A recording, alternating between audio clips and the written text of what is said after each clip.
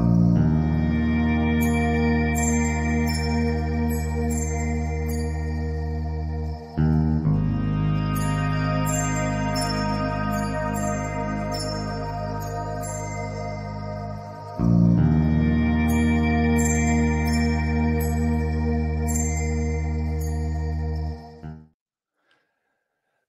Bonjour à tous. Euh, nous sommes euh, ce soir sur une soirée consacrée aux pyramides et à leurs secrets.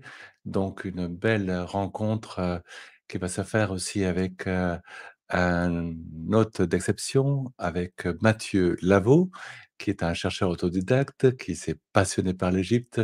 Il est même allé à plusieurs reprises et il a été fasciné par la géométrie, géométrie sacrée, euh, des formes, des messages, euh, des angles, des distances. Et donc, euh, il a développé même une pratique de ce qu'il appelle la primosophie, c'est-à-dire la science des nombres premiers. Et donc, c'est un personnage riche en couleurs, avec beaucoup de, choses intéressantes à dire. Et ce soir, donc, on a l'honneur de l'avoir avec nous ce soir pour nous parler justement, pour entrer dans le secret intérieur des pyramides et comprendre quel est leur sens, quel est le message aussi, peut-être qu'elles veulent nous transmettre. Et puis on va parler, bien sûr, de bien d'autres choses, de la France, de, euh, la, cette géométrie sacrée des lieux, qui a été toujours euh, ben, quelque chose qui a été suivi par les bâtisseurs de cathédrales, par les églises. Et donc, on va parler de tout cela avec Mathieu, que j'invite ici. Voilà, bonjour Mathieu. Bonjour Bernard. Et bonjour tout le monde. Bonsoir à tous. Alors, euh, on est, euh, je suis vraiment content que tu sois avec euh, nous ce soir. Alors, tu es, tu peux nous parler un petit peu de, toi, parce que tu es où en France déjà? Bah, En France, moi, je suis du côté de Valence, dans la Drôme. Ah, et avant, j'étais dans la dans l'un, hein, ce qui n'est pas pas anodin puisque j'ai pas mal travaillé sur les nombres premiers, sur la, notion de 1 et, d'unité. Absolument. Et alors, euh, je crois que tu es revenu non, d'un voyage en Égypte. Tu prévois un voyage en Égypte. Euh, tu, es, tu es souvent euh, là-bas à faire des rencontres. Tu es quelqu'un qui Comment t'es arrivé cette passion de l'Égypte? Alors, oh, ben le... En fait, j'étais pas du tout euh, branché spécialement Égypte jusqu'à ce que je fasse une rencontre euh, avec euh, celui qui a été mon mentor, qui était Georges Vermar. C'est lui qui m'a ouvert les yeux là-dessus parce que jusque-là, franchement, j'étais comme tout le monde, bon, intéressé par l'Égypte. les pyramides, forcément, ça fascine toujours un peu quand on est enfant. Euh, on a vu ça, on a étudié ça au collège, à l'école. Mais moi, j'étais vraiment resté dans l'histoire euh, classique euh, des pyramides. Je m'étais même pas posé plus de questions que ça. C'est-à-dire pour moi, voilà, bâti en 20 ans, enfin l'histoire classique qu'on connaît, qu'on a entendu, construit par Khéops, etc. Jusqu'à jusqu'à ce que je rencontre cette personne, Georges Vermar, donc une personne assez euh, merveilleuse. Enfin, pour moi, ça a été vraiment une belle, très très belle rencontre. Mais bien qu'au départ, euh, ça a été quand même un peu compliqué, quand même, parce que je dois dire que euh, je viens, moi, je viens d'un milieu plutôt plutôt athée. J'avais fait des études scientifiques dans tout ce qui était biologie, de sciences et vie de la Terre. Euh, donc euh, géologie. Voilà, moi j'étais dans cet esprit plutôt plutôt scientifique, on va dire. Euh, et là, j'ai quelqu'un qui me montre des choses et qui me qui me font dire que finalement Dieu existe. Alors que j'étais pas du tout là-dedans, vraiment vraiment pas. et donc ça, ça m'a beaucoup interpellé. Donc ça n'a pas été si évident que ça au départ, puisque j'ai même voulu presque contrer ce qu'il disait ce qu'il me montrait. Euh, parce que comme ça pouvait se vérifier, c'était mathématique, c'était la géométrie. Euh, donc j'ai voulu, euh, j'ai voulu essayer de, de dire, enfin, comment dire, au fond de moi, je pense que j'avais envie d'y croire parce que c'était vraiment très beau. Mais en même temps, je me disais, c'est pas possible. Il y a une partie de moi, mon cerveau, qui disait non, non, c'est pas possible. euh, pourquoi? Parce que ça, nous amenait euh, simplement à la conclusion que les, les étoiles elles-mêmes n'étaient pas placées au hasard. Ça, j'ai deux trois images, on pourra les montrer. Euh, parce que les pyramides ont été construites en fonction des, enfin les pyramides de Gizeh, en tout cas, c'est là-dessus que moi j'ai travaillé. Elles ont été construites sur la base d'une constellation qui est celle d'Orion, euh, accompagnée de, sa petite euh, étoile, enfin la, plus belle étoile du ciel qui est Sirius à côté. c'est la, plus brillante, donc c'est quand même une de nos plus belles étoiles à côté d'une de nos plus belles constellations, celle qu'on voit très bien en ce moment. D'ailleurs, elle commence à, sortir. Là, c'est une constellation d'hiver. Donc voilà, ça a été, euh, ça a été une découverte. Et donc, enfin, petit à petit, bah, plus je plongeais dedans pour essayer de dire non, non, c'est pas aussi précis qu'il le dit, c'est de l'à peu près. Euh, on peut toujours faire dire tout ce qu'on veut avec les nombres. Euh, et ça, c'est la, réflexion classique hein, quand on veut quand on veut pas voir les choses, on dit ouais, mais on fait, dire ce qu'on veut avec les nombres. Ça, c'est... mais quand on commence à avoir une, deux, trois, dix, cent occurrences, euh, à un moment donné, on se dit non, là, il y a quelque chose. C'est, sûr. Et puis après, j'étais amené à faire des découvertes euh, ben, par moi-même hein, aussi. Euh, là, j'en, ai mis une en diapo, là, on les regardera. Mais pour moi, c'était le, truc où on me dit là, voilà, là, il y a, aucune discussion possible. Enfin, on peut toujours discuter, bien sûr, mais pour moi, c'est clair et net que là, c'est pas du hasard, c'est là, c'est en place. Et euh, il y a une géométrie dans les étoiles qui est pas liée au hasard. Et voilà, donc la pyramide, finalement, euh, ça, a été en fait plus presque astronomique que égyptologique.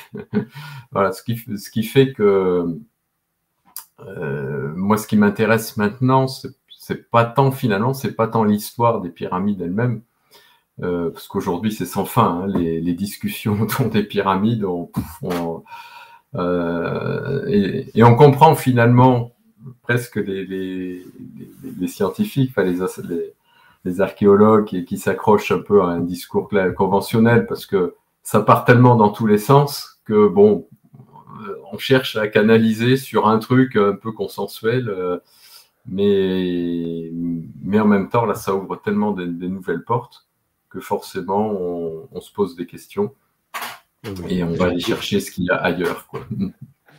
Mais surtout, même, euh, même, bon, je connais pas mal de guides en Égypte, il y a plus grand monde qui croit vraiment la théorie officielle parce que c'est tellement difficile, c'est tellement tiré par les, épingles, c'est-à-dire le fait que ce soit un, pharaon comme Khéops, qui a, dont le règne a duré euh, près euh, quelques, enfin, quelques années, quelques, dizaines, enfin je sais pas, d'autres maximum 20 ans, euh, qui, qui était peu connu, dont on n'a qu'une seule statuette dans l'histoire, et qui ait pu construire un ouvrage aussi grand.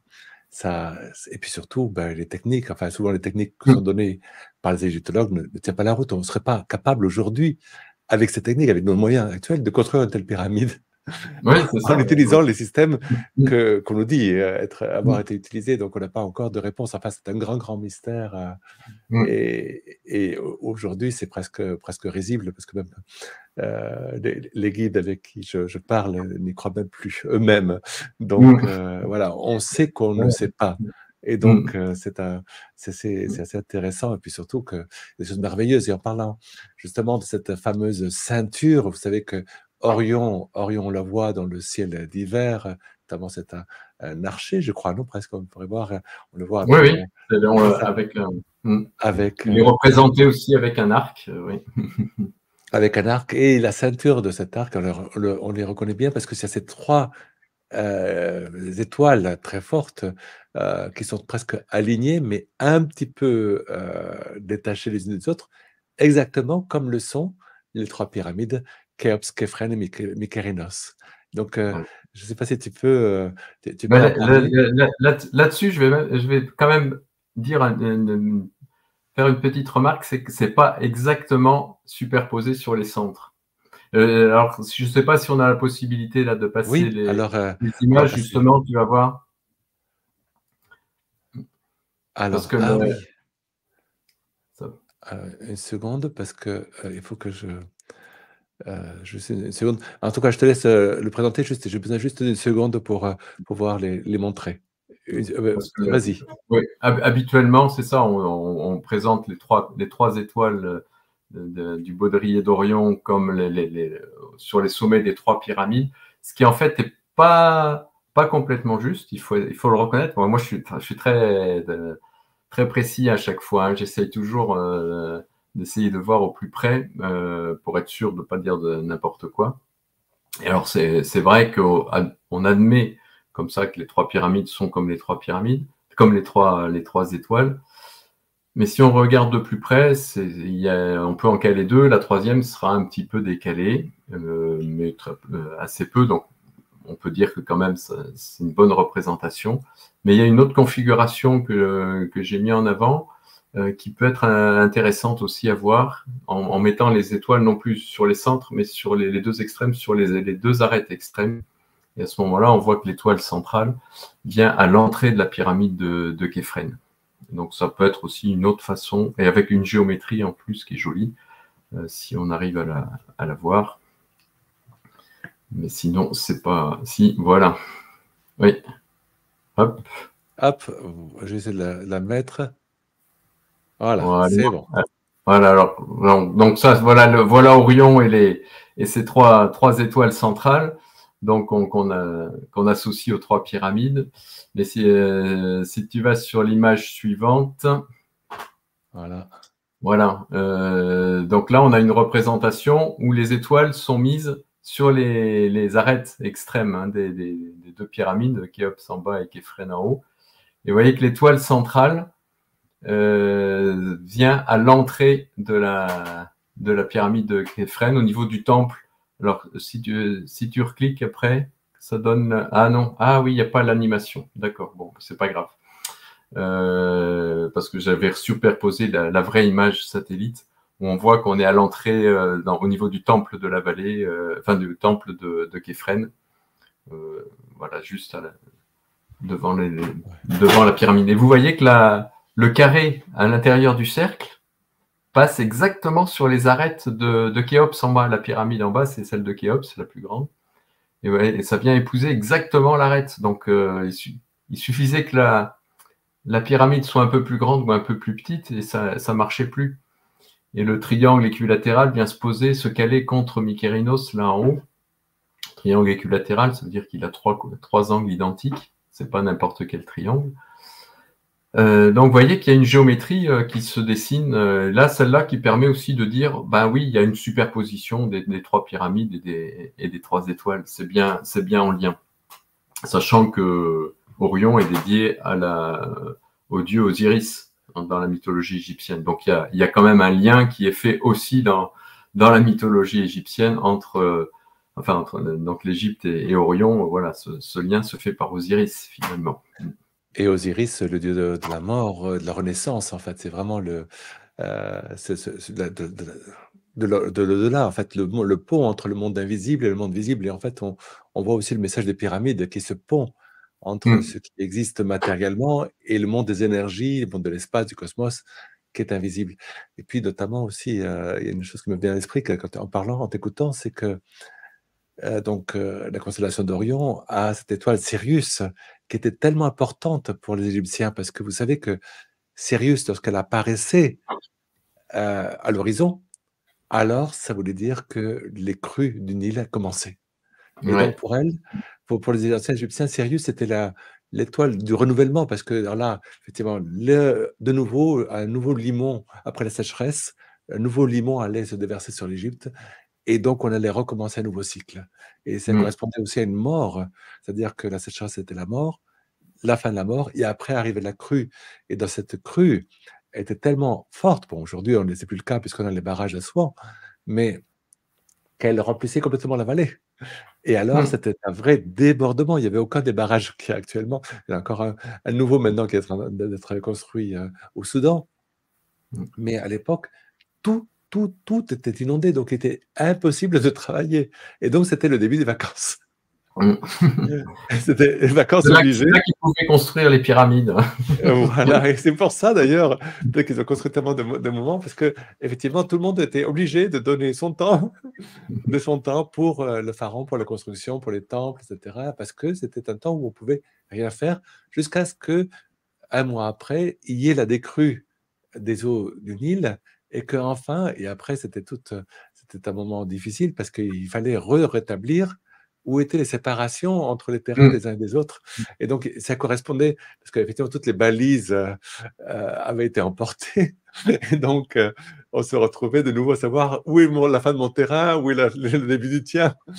Et donc, et ça correspondait aux différentes étapes de la vie, en fait, de la mmh. naissance, où il y a un grand fleuve, il y a l'eau, donc le liquide amniotique, et puis après, on, on commence à se malaisser l'enfance en disant mais où est ma place par rapport à celle de l'autre? Et donc c'était une image aussi de la croissance de l'être humain. Et, on retrouve tout cela dans, le, dans, ce magnifique dessin des pyramides. Et le, oui, après ben, l'histoire d'Isis et d'Osiris, parce que donc Sirius c'est euh, dédié à la déesse Isis. Et c'est vrai que quand on décortique un peu cette histoire-là, ça peut nous parler aussi beaucoup, hein, avec Osiris qui est, est enfermé dans un sarcophage. Donc voilà, on va être un peu, c'est un peu l'œuvre noire. On va, euh, il va falloir faire, euh, faire face à nos, à nos parts à notre peut-être peur de la mort aussi.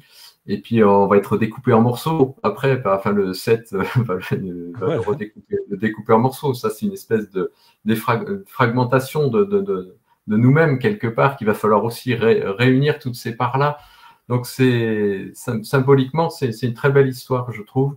Moi, je l'utilise euh, euh, quand je fais des ateliers, là, parce que ça m'arrive d'animer des ateliers.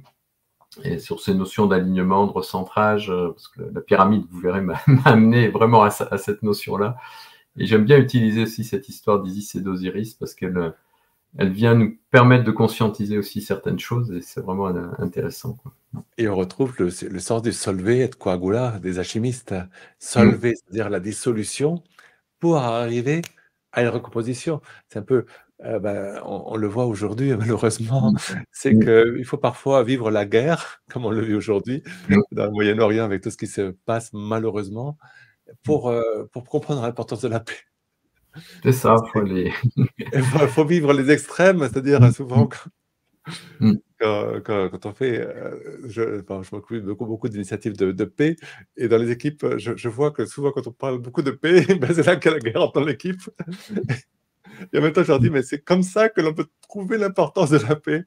Exactement. Hein, ben là, si, on, si on, on, part sur un peu ce qui se passe en ce moment, euh, c'est vrai qu'on on, se rendait compte que, que, le système dans lequel on, on était nous, nous emmenait sur quelque chose d'impossible, hein, une, espèce de croissance un peu euh, sans fin où, où on sait qu'on n'aura pas les ressources euh, pour tout le monde, euh, pour que tout le monde puisse avoir tout, tout le confort qu'on a aujourd'hui. Ça paraît impossible, en l'état actuel en tout cas. Donc, à un moment donné, on se dit si ce système-là euh, va pas, euh, il, faut, il faut arrêter. Et donc là, si tout explose en ce moment, c'est peut-être pas pour rien, c'est peut-être justement pour arrêter tout ce, tout ce système-là pour pouvoir repartir vers autre chose. Bon, là, on, dérive du sujet, mais c'est quand même euh, voilà, intéressant de voir que Isis et Osiris peuvent nous permettre aussi de, de faire un travail sur nous.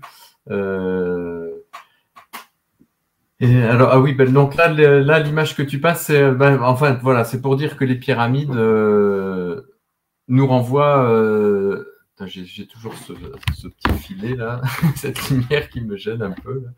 Non, mais c'est pas grave. C'est, j'ai mon, rayon, blanc voilà, sur la... voilà, ton rayon blanc d'aspiration. C'est pour ça que tu es connecté en ce moment.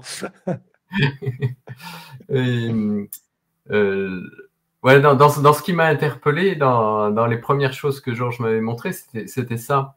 Euh, notamment, c'est que Orion, si on dessine la croix euh, avec les quatre étoiles euh, cadres là, qui forment le, le, cadre autour des, des, trois étoiles centrales, eh ben, on retrouve à l'intérieur un, un, angle de 51 degrés 51 qui correspond à l'angle de la grande pyramide.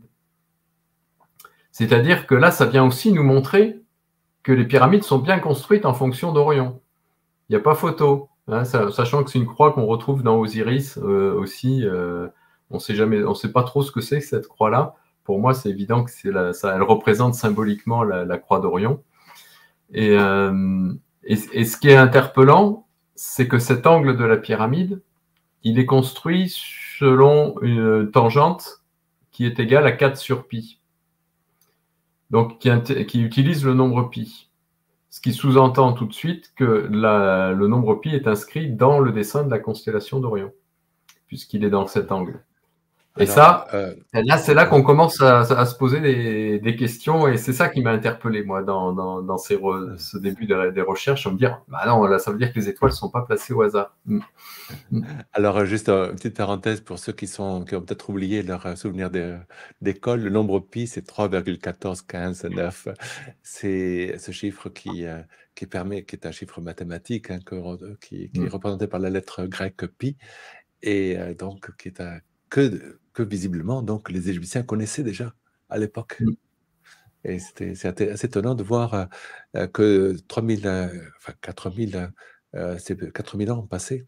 c'est ça, 4000 ans passés, mm. qu'ils connaissaient déjà le nombre pi et ce genre de, donc les, bases de, de l'algèbre.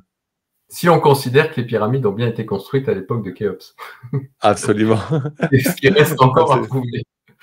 Absolument. ça, c'est encore un autre, un autre débat. Euh, moi, j'ai la preuve absolue qu'il connaissait bien le nombre pi.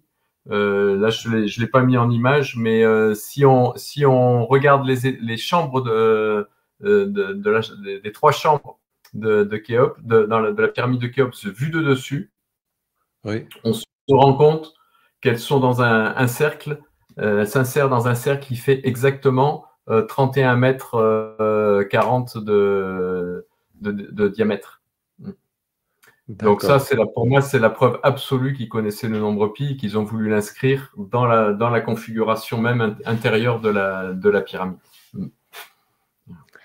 Donc, euh, Alors voilà, donc effectivement, une chose très intéressante aussi, c'est que toutes, moi je suis convaincu, hein, je pense aussi comme toi, que ce ne sont pas été les Égyptiens qui les ont bâtis, ils ont été bâtis bien avant. Mais ce qui est important, c'est de comprendre que dans l'histoire officielle, même là où ils, en sont, on découvre combien à l'époque, il y avait une telle profonde connaissance aussi des alignements, on le verra tantôt, mais non seulement les étoiles, mais on retrouve aussi que, et ça c'est très important, le sphinx, le fameux sphinx, qui est orienté et vers l'ère du, lion. En fait, les, les pyramides auraient été construites à l'ère du lion, et puis c'était le, le, lion qui était. D'ailleurs, le sphinx, euh, on voit une tête de pharaon, mais c'est cette tête de, qui est bien plus petite que le corps du, euh, du lion. En fait, c'était, c'était un lion. C'était un lion à forme d'homme, mais c'était pas la tête du pharaon qui était dessus. Il a été taillé euh, par la suite. Et donc, on, retrouve dans les aires zodiacales qu'en fait, elle correspond à l'ère du lion, c'est-à-dire que là, chaque ère dure à peu près 2000 ans. Nous, nous sommes en train de commencer l'ère du verso. On sort de l'ère euh, du poisson. Et en Europe, de 2000 ans en 2000 ans en 2000 ans, on retrouve euh, l'ère euh, du lion. Alors, alors, là, justement, l'image que, l'image que, que tu as mise là, elle correspond au départ de l'ère du lion. 10 euh, 000, euh, alors, pourquoi c'est très précis, 10 444 Parce que c'est le, on est au, moment où, démarre euh, l'ère du lion, mais l'ère du lion, on peut la faire démarrer à, plusieurs. Il y, a, une échelle de temps, comme aujourd'hui, l'ère du verso, pour moi, on n'y est pas encore complètement dedans. mais 10 444, ça, avec un logiciel d'astronomie, vous retrouvez le moment précis où Orion passe au plus bas dans le ciel. Euh, parce qu'à cause de, ce cycle de la précession des équinoxes, qui fait qu'on change d'air euh, tous les 2160 ans, ça c'est parce que la Terre a fait un mouvement de toupie comme, ça, sur 26 000 ans, eh ben, l'effet visuel qu'on a si on regarde Orion, c'est que pendant 13 000 ans, elle monte, et pendant 13 000 ans, elle redescend c'est l'autre, c'est l'autre euh, effet visuel euh, au-delà de la précession, enfin du, changement d'air. C'est l'autre, un autre effet visuel qu'on va avoir dans le, dans le, ciel.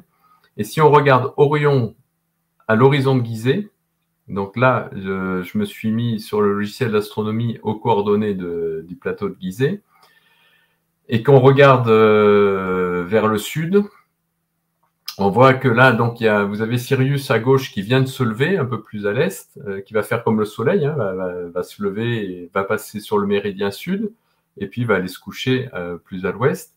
Et là, Orion est, est prête à aller se coucher. Et là, sur ce dessin-là, je l'ai arrêté au moment où Sirius et l'étoile euh, en bas d'Orion, de, qui, est, qui est Rigel, euh, soit euh, horizontale par rapport à euh, parallèle à, l'horizon. La ligne du bas, c'est l'horizon. Donc vous voyez qu'on est vraiment juste au ras de l'horizon. Aujourd'hui, Orion passe beaucoup plus haut dans le ciel. Et ce sera au plus haut en 2491 ou 12, quelque chose comme ça. Voilà, c'est à un an près. Et donc en moins 10 444-45, on est au plus bas dans, le, dans le ciel et, regardez ce qui se passe. C'est là que, pour moi, c'est le truc le plus fabuleux que j'ai jamais vu. Hein. Euh, si, je défie quelqu'un de me montrer quelque chose de plus beau dans les étoiles. euh, ici, on a euh, Sirius sur Betelgeuse, c'est l'étoile orange. Alors, j'ai pas la, pas la souris, mais voyez qu'il y a un carré qui se dessine sur l'étoile la plus haute, là, d'Orion et qui est parfaitement centré sur le méridien qui indique le sud. Vous voyez? Et si je dessine euh, le triangle équilatéral en bas du carré, à l'intérieur du carré, vous voyez que la pointe arrive vraiment pile sur le méridien, donc c'est qu'il est bien, bien centré.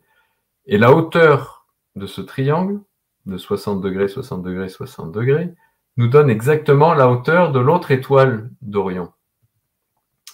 Et à partir de là, je dessine un rectangle et figurez-vous que ce rectangle-là, c'est le rectangle euh, qui est construit sur la base du nombre d'or.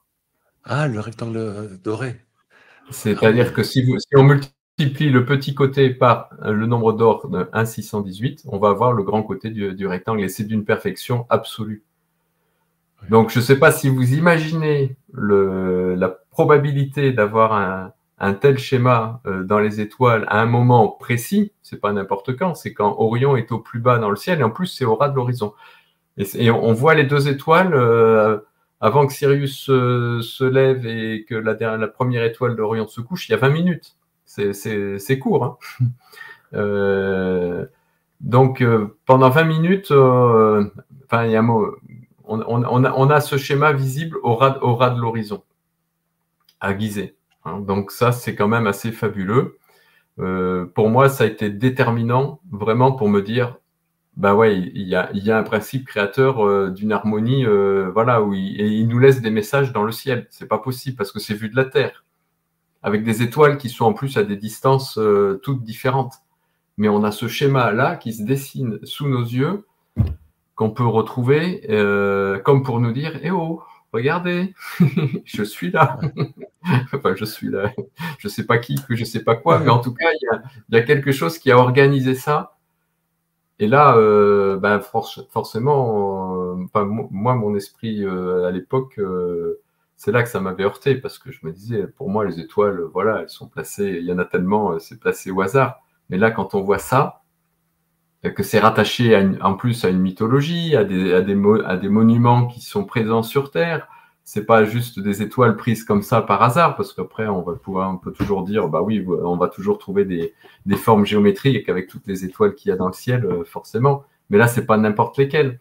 Elles sont associées à, toute une mythologie, à une connaissance ancienne, à, ces, bâtiments incroyables.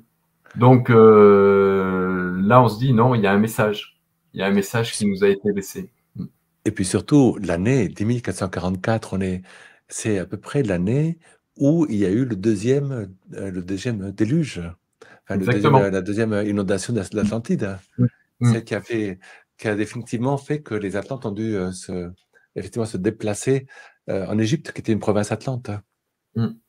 Alors, c'est pas une preuve absolue que les pyramides ont été construites à ce moment-là, mais en tout cas, ça, ça nous permet de retrouver ça. Et c'est ça qui est important finalement. Hein, des pyramides, elles soient construites euh, il y a 20 000 ans, ou 10 000 ans, ou 2 000 ans. Euh, bon, ça, ça, va nous interpeller sur notre histoire, euh, malgré tout, mais, mais sur ce que ça nous dit vraiment en, profondeur, c'est intemporel. Voilà. Donc là, et là, là, ça nous donne à un moment précis, on a quelque chose qui est quand même fabuleux.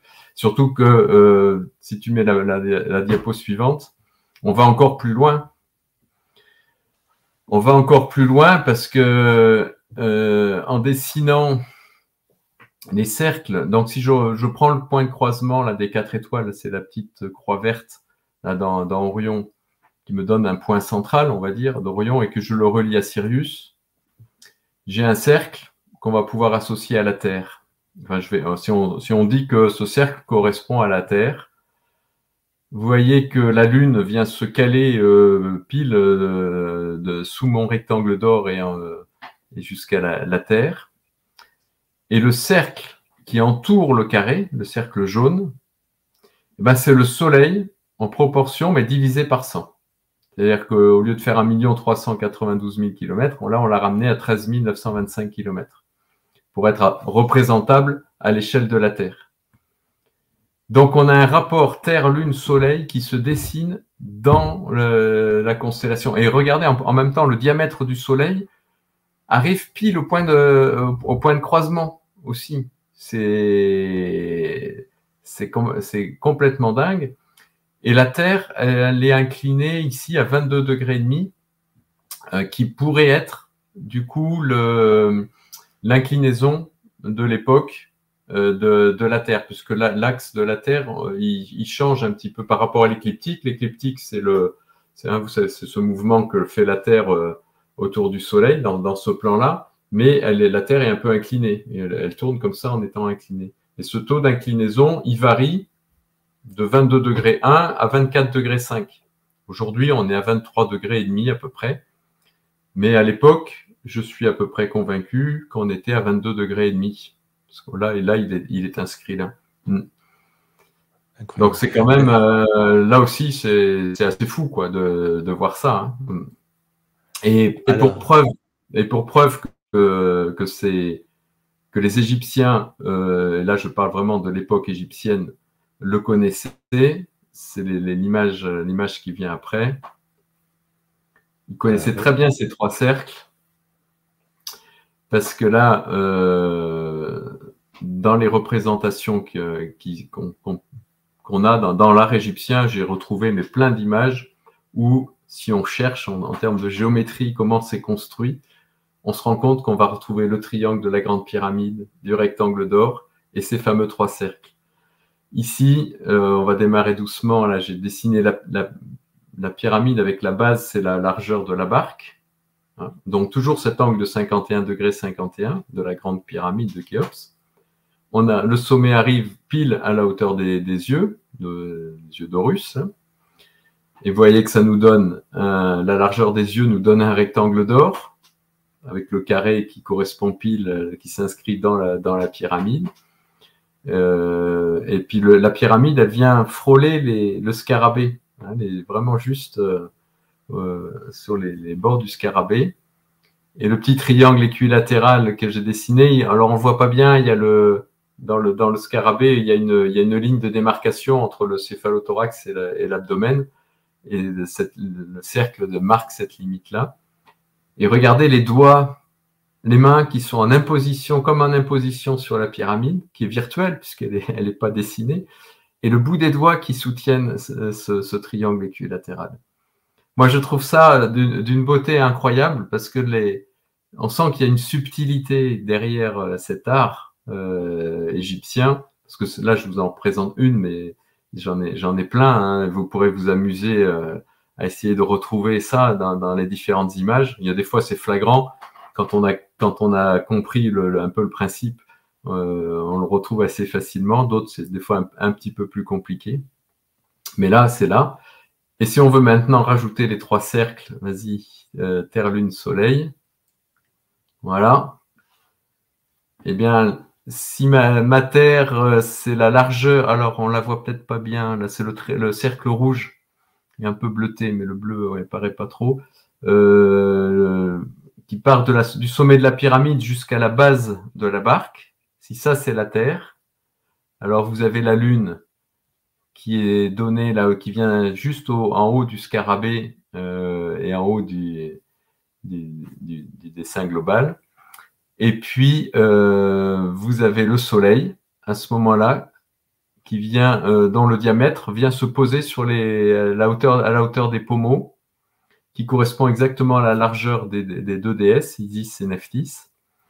Et vous avez le triangle équilatéral intérieur de, de ce Soleil. Là, c'est vraiment pour confirmer que ce cercle a toute sa raison d'être. Le, le, triangle jaune, là, équilatéral, il vient se poser exactement sur la base de la pyramide qu'on a dessinée précédemment. Donc là, on voit, on voit bien que les, les Égyptiens eux-mêmes avaient déjà compris cette configuration Terre-Lune-Soleil euh, qu'on retrouvait dans, le, dans, dans la constellation d'Orion tout à l'heure. Alors, si je peux me permettre de dire, tu, tu as le compas dans l'œil. Ouais. ben là, je me suis amusé. Hein. Alors après, oui. du coup, j'en ai pris, j'en ai pris pas mal des, des, des dessins égyptiens. Bah. J'ai cherché. Bon, voilà, on peut, on va, on va pas faire toute une conférence là-dessus. Mais, mais la, la, question que justement, je, je, certainement que beaucoup de gens se posent, et je vous invite à faire les questions là justement dans les commentaires. On aura un moment pour pour y répondre, donc n'hésitez pas à écrire. Mais c'est c'est vraiment étonnant parce que je, en même temps, je, comme je sais lire le hiéroglyphe, je, je, je, comprends le message en fait de ce, ce un tablier. Je pense que c'est un tablier, un pectoral là, qui devait être. C'est un pectoral, oui. Euh, oui, c'est un, pectoral qui devait être sur euh, de, de, du moment de, des dynasties tardives. Mais mmh. ce que je trouve que remarquable, c'est que le euh, donc, on a, on a, dit tantôt que les pyramides étaient le symbole du renouvellement, euh, Isis, Osiris, la mort, la vie, et on se retrouve ici avec le scarabée qui représente la progression du soleil, c'est-à-dire l'évolution d'une vie à l'autre. Puisque mmh. le scarabée, pour les Égyptiens, vous savez que quand le scarabée pond ses œufs, il fait une petite balle blanche. Je ne sais pas si vous avez jamais observé ça dans la nature. Mmh. Et après, avec ses pattes de arrière, donc il marche, et avec ses pattes arrière, il tire la sphère blanche pour la porter dans un lieu où il pourra enfin enterrer la sphère blanche avec ses, ses œufs pour les faire euh, euh, donc euh, éclore. Mais c'est étonnant, donc les Égyptiens ont associé ça avec la course du soleil, avec la course du soleil dans le ciel, en imaginant qu'il y avait un grand scarabée qui tirait le soleil, et en fait que le scarabée représentait celui qui pousser nos âmes, en fait, euh, vers de, de, de l'aube jusqu'au coucher du soleil. Et donc, que ça représentait notre vie, en quelque sorte. Mmh. Et vous voyez. Oui, c'est un symbole de transformation en même temps. De ouais. transformation. Et mmh. c'est le symbole de transformation que représente aussi la, la pyramide. Donc, c'est encore plus vrai. Mmh. Et regarde que par hasard, la barque sur laquelle se trouvent Isis, les deux sœurs, Isis et Nephthys, s'appelle, non pas par hasard, la barque solaire. Oui, oui, voilà. Elle, elle s'appelle Barque solaire parce qu'effectivement, mmh. et, et, on a les deux sœurs, donc c'est les deux sœurs d'Osiris, Isis et Nephthys qui sont deux sœurs d'Osiris, qui représentent l'inspire et l'expire. Et donc c'est la respiration de la vie.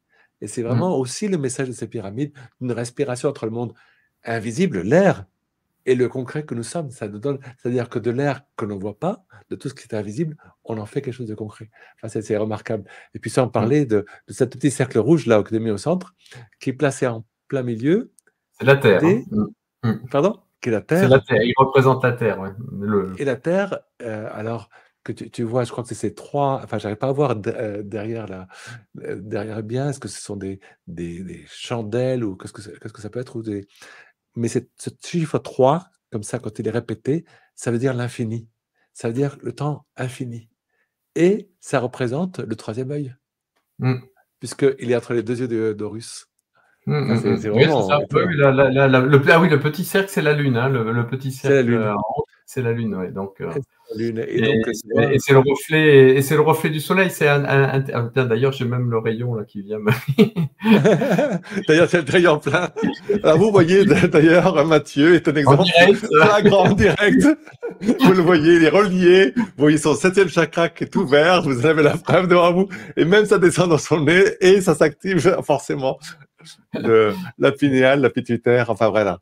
Donc, et c'est euh, le reflet intérieur, c'est ça, c'est la lumière intérieure. Euh, et donc euh, là, le, le, schéma correspond bien, comme tu dis. Euh, on a toute la symbolique. Euh, et là, et, mais là, le truc, c'est que par contre, c'est pas, c'est pas dessiné, c'est simplement suggéré. Il faut aller le retrouver. Euh, donc ça veut dire que bah, soit c'était des initiés qui, qui, avaient, qui pouvaient être en, mesure de, de, de, le voir, euh, soit après peut-être que est-ce que tous les Égyptiens étaient, euh, étaient formés à ça, j'en sais rien, euh, je pense pas, mais en tout cas c'est là. Ou alors ça a été mis là pour qu'on puisse le retrouver nous après, euh, j'en sais rien. Voilà. Mais surtout que c'était un pectoral, c'est-à-dire que c'était placé devant le cœur. Le cœur. C'était pour, pour, rappeler le cœur. Et regardez, les deux yeux d'Horus, donc l'œil de gauche qui représente la vision vers l'intérieur, l'œil droit, la vision vers l'extérieur. Et vous voyez qu'au centre se trouve l'infini, le troisième œil, c'est-à-dire cet œil qui est capable de voir l'intérieur comme l'extérieur. Et c'est un peu le modèle de la, pyramide qui nous invite comme ça à structurer la base forte mmh. et en même temps qui pointe vers le ciel. Mmh. Ah, tu es en train de, de, me faire. Oui, parce que les deux yeux sont un petit peu différents. Effectivement, il y en a, ils sont pas exactement pile pile poil à la même hauteur. Et, donc, et oui, il y a l'œil intérieur et l'œil extérieur. Magnifique. Voilà, oui, oui, ils ont, ils ont un symbolique, euh, chacun a sa symbolique. Mm. Et d'ailleurs, mm. c'est rare de voir les deux yeux. Euh, soit il y en a un, mm. l'autre, selon que selon qu'on veut dire, selon le message qui est la vision extérieure, la vision. Bien sûr, c'est l'action, l'œil de l'action. Euh, d'ailleurs, même on, le voit, on a dans, nos yeux, au niveau énergétique, ils sont, ils ont les mêmes, l'œil lunaire et l'œil solaire. Hmm. Ouais, puis, le, ben, puis toujours ce jeu d'intérieur et d'extérieur, ça c'est les. Euh, ben, alors, là, j'aborde un peu l'autre sujet qui, que j'ai. Alors, oui, si ça c'est encore de la géométrie, c'est sur la France. Ouais. Après, euh, plus loin. Ouais, un peu plus loin, on reviendra peut-être sur la France après, si on a le temps. D'accord. Par rapport à la primosophie. Voilà. Tu me dis quand euh, j'arrête. Voilà. Là où, ce qui m'a donné un éclairage sur ce jeu aussi d'intérieur, d'extérieur, d'expire, d'inspire, et, ce que la pyramide m'a dit elle-même, je l'ai compris grâce aussi à la primosophie. Euh, donc ça, c'est une, c'est une guématrie alors c'est Georges Vermar, c'est, mon, mon, mentor qui avait, qui avait mis ça au point. Mais à l'époque, on l'avait pas, dans les années 2000, là, on on l'avait pas encore euh, développé parce que ça fait quand même, oui, je pas mais ça fait Je l'ai rencontré en 93-14, donc ça fait 30 ans hein, maintenant. Euh, et moi, j'avais à peine, euh, j'avais à peine 30 ans à l'époque, donc ça, ça commence à, à, faire. Donc en 2000, dans les années 2000, il, a, il avait mis ça au, point. Il avait, il avait appelé ça donc la primosophie, donc une sorte de guématrie. Mais au lieu de le faire avec 1, 2, 3, 4, 5, 6, 7, 8 jusqu'à 26, il a pris les nombres premiers, ceux qui se divisent que par 1 et par eux-mêmes et en intégrant bien le 1, parce que euh, aujourd'hui, depuis avec les mathématiques modernes, le, 1 a été supprimé des nombres premiers. Mais jusque dans les années 60, il était bien considéré comme le nombre premier, parce qu'il se divise bien par 1 et par lui-même. Il, répond à la, définition mathématique, mais bon, ils ont rajouté des choses pour euh, éliminer le 1 parce qu'il est, est trop impersonnel, quoi, quelque part. Et ça, permettait de simplifier. Du coup, ce qui fait qu'aujourd'hui, on est dans un monde qui commence les nombres premiers par le 2, par la dualité. et, tout l'enjeu de la primosophie, ça va être justement de nous remontrer comment on revient vers, le 1. Parce que, euh, donc après, le, truc, c'est que dans les mots, euh, on va faire l'addition qui correspond, des nombres qui correspondent à chacune des lettres. C'est comme ça qu'on a le, le, mot bien totalise 69. Hein, si vous additionnez euh, le 2 du B, le 19 du I, etc. Et il se trouve que le mot mal, par exemple, fait aussi 69. Donc ça, ça, ça vient nous interpeller. Au début, c'est pareil, on se dit, ah, c'est des trucs, euh, c'est des coïncidences.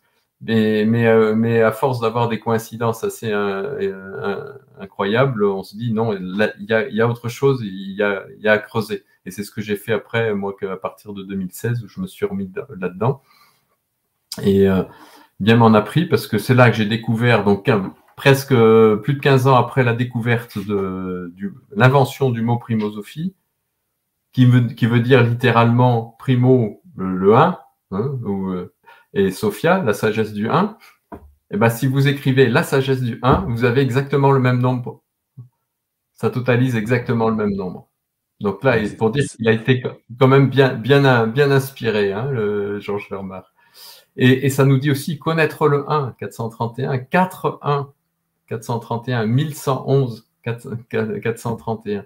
Donc, vous voyez que, euh, bon, voilà, ça interpelle.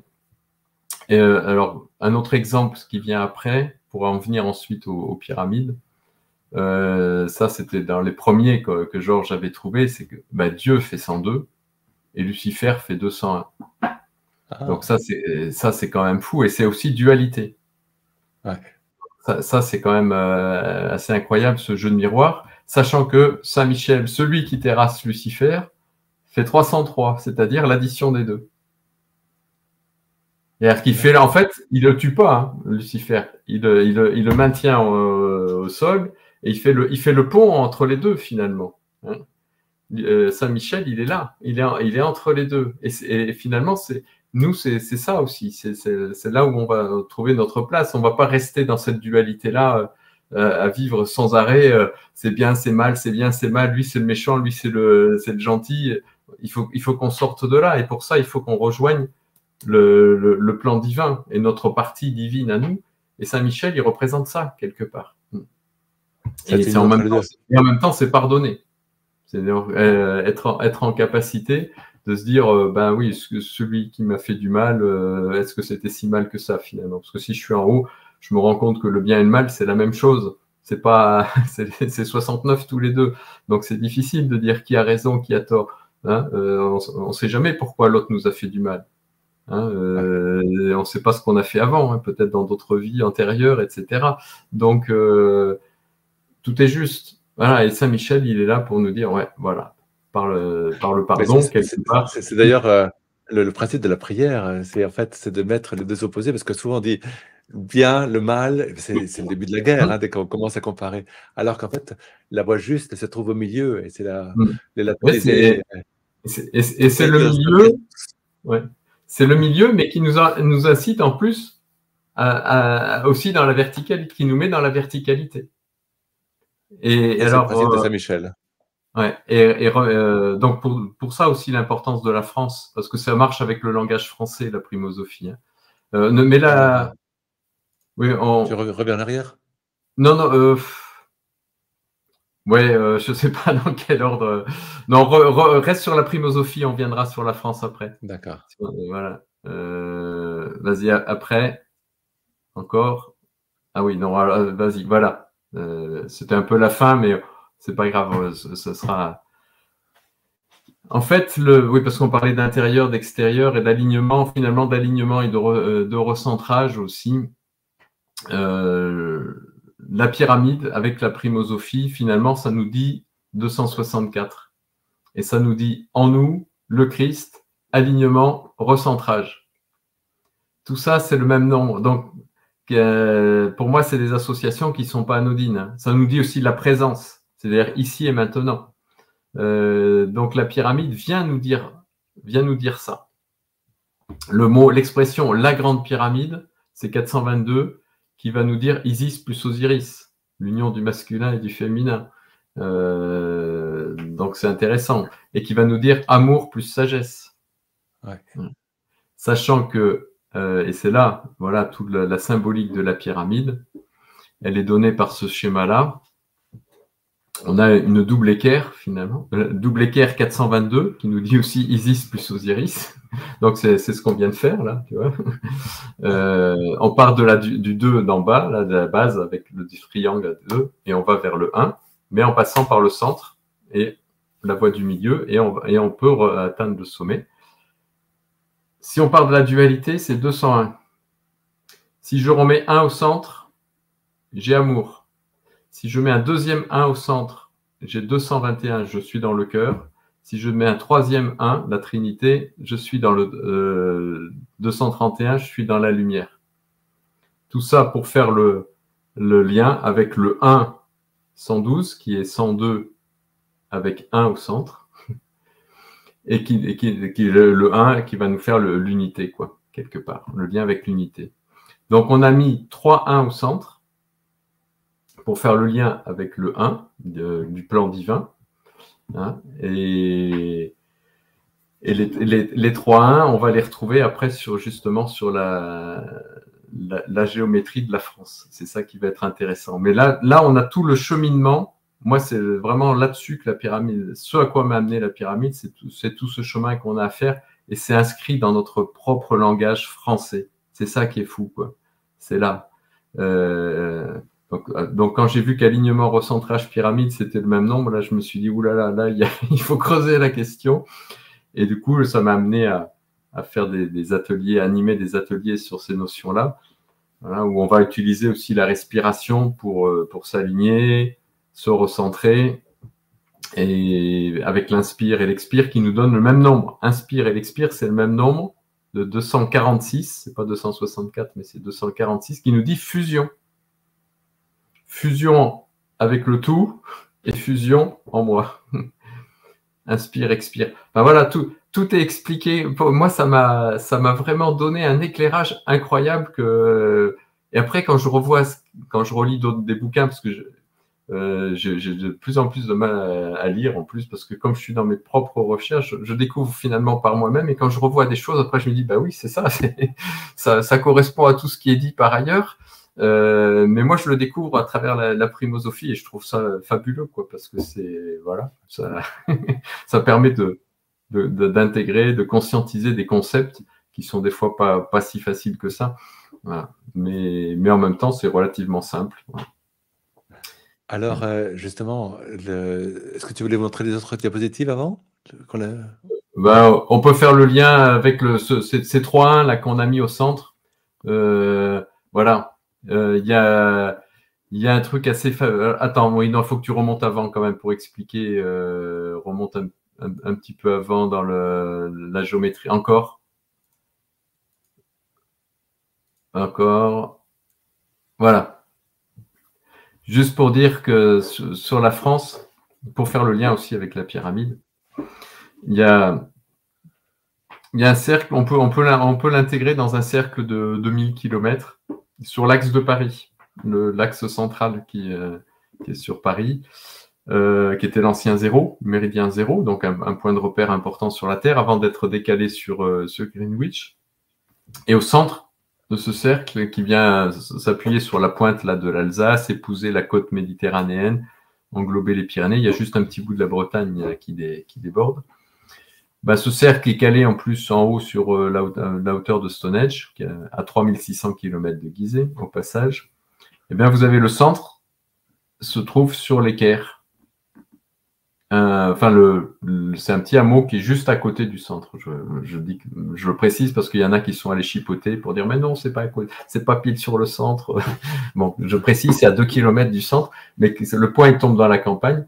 Et euh, donc juste à côté, il y a ce petit, euh, ce petit hameau qui s'appelle l'Équerre.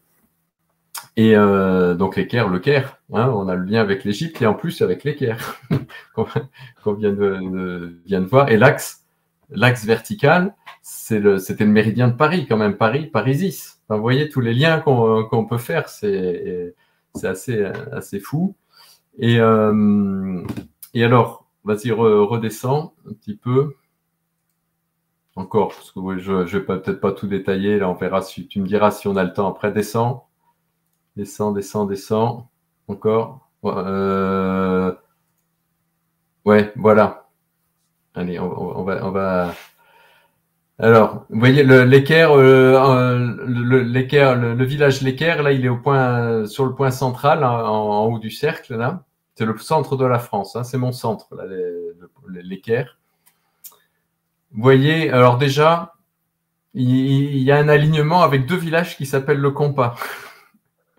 c'est quand même, quand même assez fou, sachant que le compas d'en bas, vous pouvez dessiner un cercle avec l'équerre qui fait 161 km 8, c'est-à-dire le nombre d'or. Ça aussi, c'est quand même euh, euh, particulier. Et euh, vous voyez que la perpendiculaire là, de, de, vers du compas du bas arrive. Alors on le voit peut-être pas très bien là, c'est en, en, petit. Il y a un petit triangle avec trois autres hameaux qui s'appellent l'équerre qui forme un triangle isocèle de 11,1 km. Les deux côtés identiques font 11,1 km. Et ce petit triangle, il pointe exactement à 111 km de l'équerre, au centre de la France. Et ça, pour moi, c'est la clé, c'est le message que porte la France. On a vu le message de la pyramide, alignement, recentrage, le Christ en nous, etc. Et la France, elle nous dit, les, remettez les trois 1 au centre, sur votre axe vertical. Avec ces l'équerre, voilà. Et le message, il est là. Et les trois 1, c'est ce qu'on a vu tout à l'heure, qui nous amène amour 211, 221 le cœur, 231 lumière, pour retrouver la lumière et donc pour euh, éclairer notre, notre œil intérieur. Le, le message, il est là. Euh, et ça, et ça c'est la France qui le porte. Donc, grâce à la primosophie et grâce à sa, à sa géographie sacrée. Et si on. oui, Mathieu, il y, aura, il y, a une question qui, euh, je pense, qui arrive dans la, pensée de toutes, tous les auditeurs, c'est comment? Parce que tu, as, tu as un génie non, de, de voir euh, à travers des choses que nous, moi, j'aurais regardé ça, je n'aurais pas eu tout de suite. Et tu as, tu as cet art de, de voir les équilibres, les pointes. Comment ça t'est venu? Ah, euh, alors ça... C'est un axe, est-ce que c'est cette lumière qui, te, qui à ce moment arrive direct? Euh, Alors, le, pour la France, bon, pour, tout ce qui était autour des pyramides, c'est ben, parti avec, avec Georges. Et puis après, ben, il y a des intuitions qui, viennent se mettre en place. On, pense à un truc, on va, on va, on va, on va développer un peu le, sujet et on finit par tomber sur des choses euh, incroyables. Et puis euh, pour la France, ça a été, euh, en fait, ça a été curieux parce que à un moment donné, Georges, il, a, il a fallu qu'on se sépare. Il y a eu, vous savez, le disciple qui doit faire son chemin tout seul. il, y a, eu un, petit coup de pied au cul, là, allez hop, débrouille-toi tout seul. Euh, ça a été un, peu un grand vide pour moi à ce moment-là. Mais il se trouve que j'ai rencontré une personne, mais vraiment, vraiment une, enfin une histoire, je ne vais pas la développer là, mais bon, ça m'a amené à une personne qui était euh, dans les Vosges et qui m'a, en voyant ce, ce que je faisais, elle m'a dit, elle m'a tendu une carte de France en me disant, tiens, toi qui es dans la géométrie, je te donne ça. C'était une, carte de France avec une étoile à six branches euh, à l'intérieur qui partait d'un point euh, qui s'appelait le, Saint-Mont, à la hauteur de, Pimpon, euh, de Brocéliande.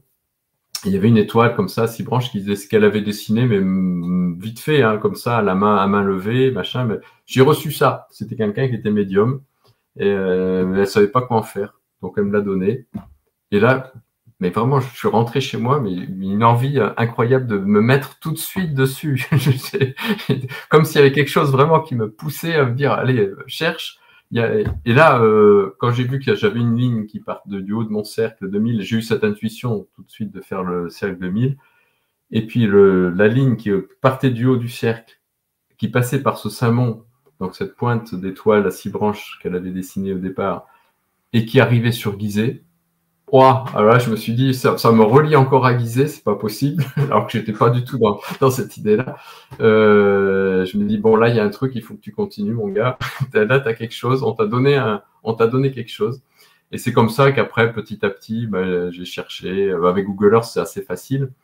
Euh, le, le l'équerre, je l'ai même pas vu tout de suite au départ. Il a fallu que je zoome parce qu'il y a deux maisons, hein, ou trois. Euh, il avait fallu vraiment zoomer pour qu'à un moment donné, je vois, tiens, l'équerre à côté du, point central. Tiens, c'est dingue ça. et euh, puis du coup, après, on va chercher s'il y a d'autres l'équerre euh, en France. Il y en a plein, hein, il y en a plusieurs, avec des géométries qui sont intéressantes. Il y en a qui se sont amusés à, chercher d'autres géométries là-dessus. donc voilà, ça se fait petit à petit.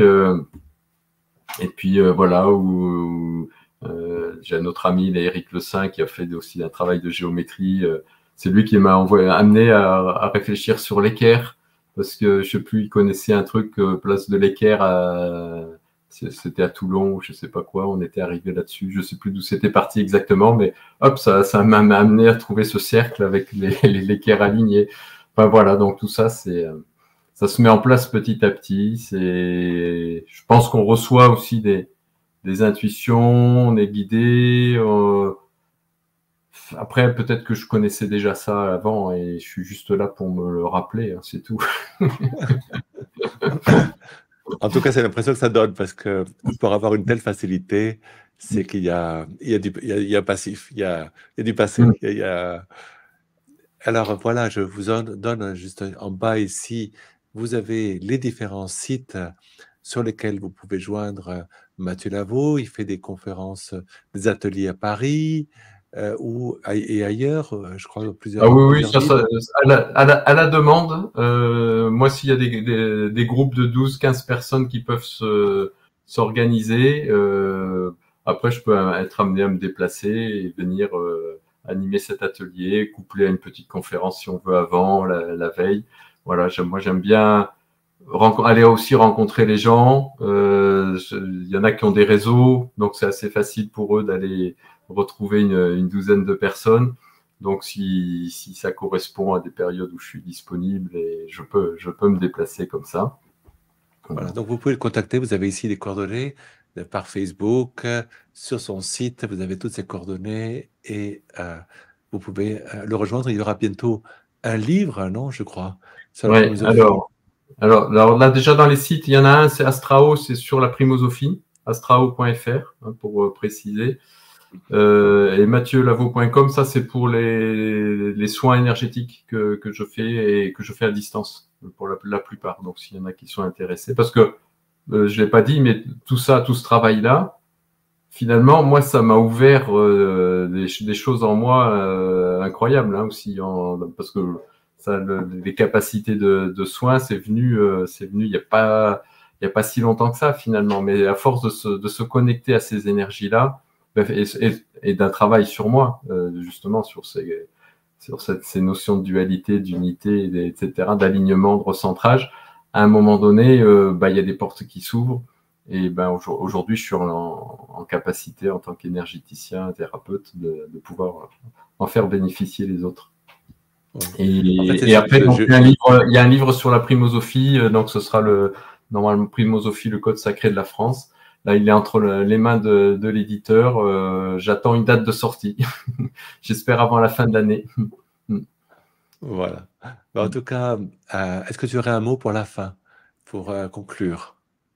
Pour conclure, ah, ah, ah. ben moi, moi, j'invite les, tout le monde à déjà à garder une espèce de, curiosité et de d'ouverture, parce qu'aujourd'hui, on est dans un monde où, on, cherche tellement à, à, faire enfermer les gens dans une catégorie, dans l'autre, à nous mettre les uns contre les autres. Euh, alors que voilà, tout, comme, comme, on disait tout à l'heure, tout est, on, doit être en capacité de, refaire, de, de, voir cette dualité là, euh, et, d'en sortir en se mettant au-dessus, au, sommet de la pyramide, pour dire ben oui, oui, oui, je vois bien là, lui, lui joue ce rôle là, lui joue le rôle du méchant là, euh, lui il a l'air plutôt sympa, euh, mais chacun joue son rôle, chacun a sa place et, et, moi, comment je me situe là-dedans? Voilà. Euh, et d'être en capacité de sentir que au-dessus de moi, moi, je, je, vois comme ça, mais je peux voir aussi comme ça. Et parce que ce qui est comme ça, c'est en miroir. Alors, je ne l'ai pas expliqué, mais il y a Dieu 102, 1, 112, 122, c'est le Fils, donc on peut associer au Christ aussi, et 132, c'est l'aura, qui est le miroir de la lumière. 231. Donc tout, fonctionne en miroir. Et donc ce pouvoir se connecter comme ça à son, double énergétique, ben ça, ça vous donne une, une ouverture sur le monde euh, et, des, et des, ouais, après des capacités en soi, etc. C'est tout un, tout un ensemble. Donc j'invite vraiment tout le monde à, pouvoir euh, s'émerveiller déjà de tout ce qu'on peut voir, parce que les étoiles, voilà, mais il y a le reste hein, aussi, des petites fleurs, etc. au départ, j'étais animateur. J'ai commencé ma carrière professionnelle en tant qu'animateur nature. Moi, j'allais dans les écoles et j'allais mettre les enfants à quatre pattes euh, dans l'herbe avec une loupe euh, pour qu'ils reprennent contact avec, avec la nature. Ça, c'était quand même déjà mon premier lien que je sentais où que l'être humain était relié déjà à, l'écosystème. Mais je le voyais encore en tant qu'écosystème biologique. Euh, un peu dans, dans, ce côté un peu scientifique, donc je sortais de mes études de, de, biologie. Et puis après, il y a eu ces histoires d'étoiles, de, de, pyramides. Là, ça m'a ouvert encore à, la dimension cosmique, on va dire, et, et au-delà. Et voilà, garder cette capacité aussi d'émerveillement, ça, je pense que c'est important pour tout le monde. Voilà. Eh ben, merci pour ces, ces mots. En fait, euh, l'image qui me venait, c'est ce qui est en haut et comme ce qui est en bas, comme s'il y avait une pyramide inversée C'est ça. de la pyramide. Comme ça, il y a une pyramide céleste invisible, donc une sorte de pont entre le monde visible que l'on voit, la pyramide physique, et la pyramide au-dessus, donc euh, invisible, qui représente le lien au cosmos, le lien au divin. le Et on retrouve la même trinité au Mm. sommet que la trinité en bas. C'est les mêmes. Et puis, et, et les deux viennent, et les, et les deux viennent s'embriquer l'une dans l'autre. Le- le- pour moi, l'objectif, il est là, c'est la fusion entre les deux, entre mon corps terrestre et mon corps céleste en miroir. Et, Et les, et l'ensemble, et le- les deux, c'est, c'est- j'appelle ça comme ça, corps terrestre et corps céleste. Le corps céleste, je l'appelle aussi des fois mon double, parce que le, le corps, corps terrestre plus corps, plus corps céleste, c'est 1002.